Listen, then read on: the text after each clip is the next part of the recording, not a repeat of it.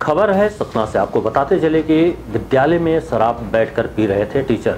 और वीडियो हो गया वायरल। आपको बताते चले कि सतना ज़िले के चैतवार संकुल अंतर्गत शासकीय प्राथमिक शाला चिल्ला में विद्यालय के अंदर शराब पीते शिक्षक कैमरे में कैद हो गए।